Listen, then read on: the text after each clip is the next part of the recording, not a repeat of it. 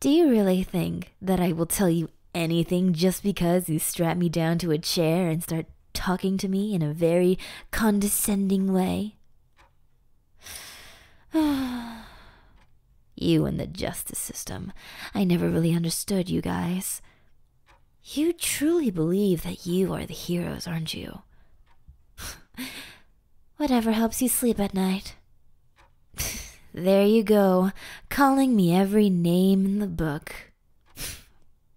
I must say, your interrogation skills seem to be working. Oh, I just have this sudden urge to tell everything I know to you. Oh man, how do you do it? Can you just throw me into a jail cell already? You're wasting both of our times. You see, me and my family, we have this moral code. We'd rather rot in prison than rat each other out. Cause we were there for each other our whole lives. Even when our families abandoned us, we were there for each other. I would never dare to turn my back on my true family. So you better get that motive of getting information out of your head, cause it's not happening. I see both of us are very stubborn. Well, I had to murder very stubborn people, so this is nothing to me. Do you think a few words will make me confess everything I know? You're pathetic. Your words mean nothing. Nothing at all. Oh my goodness, just get off your high horse for once. Do you truly believe that what you're doing is helping anyone? Look at me. This is a result of how you treated us the justice system, the government, everyone. Guess what? Our own families left us to die. The government refused to help us, and the justice system threw us out to the curb. So we have every right to be mad. Every single right. and you act like we are the villains. You are sorely mistaken, my good sir. What? Are you proud of this moment? Are you going to put this on your resume? Hoping that you'll get a little promotion, get some more money? Of doing what? This? Taking in the victims and blaming them for all your problems. We had no choice. In fact, you didn't give us any choice. You see me? I used to be a normal girl. A normal, young, innocent little girl. Till my family decided to throw me out for no reason. I went to you guys for help. Since I've been brainwashed to rely on the government any time there are problems, I went there, and you guys looked at me as if I was nothing. As if I deserved to die like an old dog.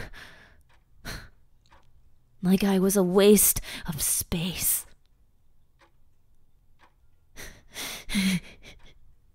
you did that to all of us. And this is what you do and you call yourselves heroes. I have a theory about you that you have no power, so you come here and take it from the weak. Is that what you're aiming for? Is that your motive? Because it would make sense.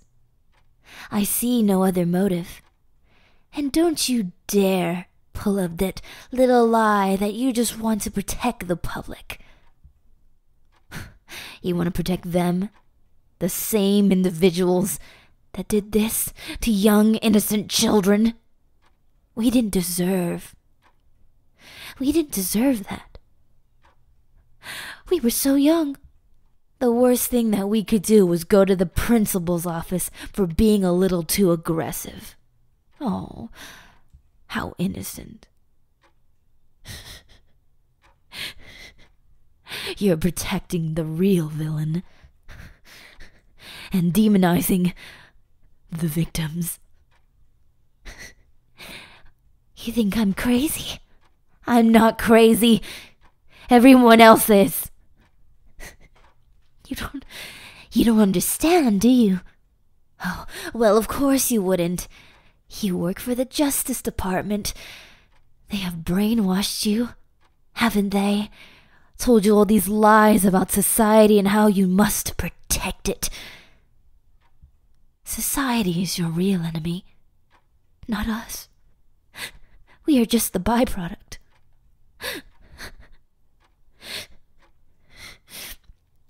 Innocent little children turning into monsters. What do you think made them turn into that? Exactly. Finally. You finally understand, don't you?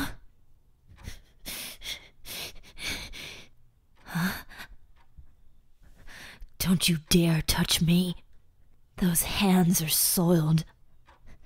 Your mind is soiled. Filthy? You are filthy.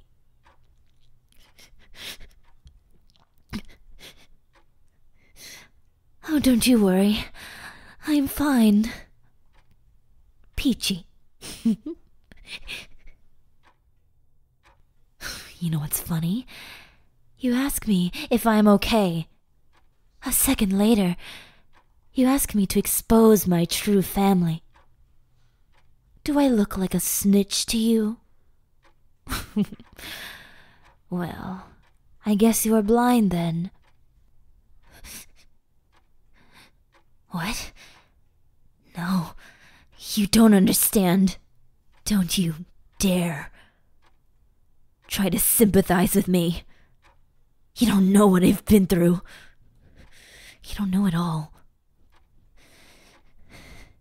Not at all. You've been living this posh life, this life of luxury.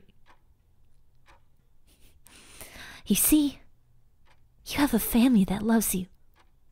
You have people who cared about you. People who are willing to help you.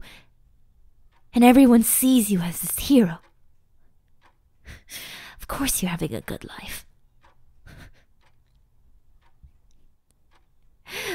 Look at me, the outcast, the untouchable.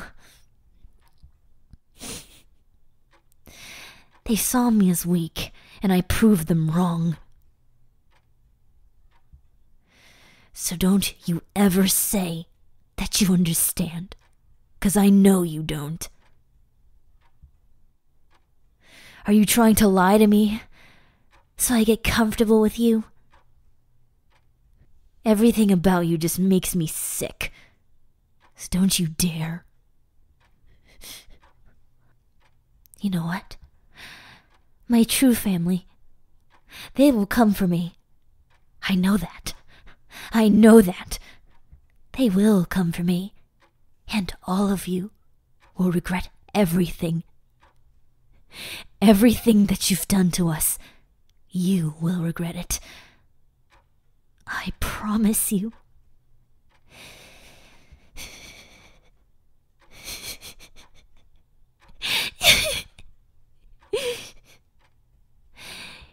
You seem so sure.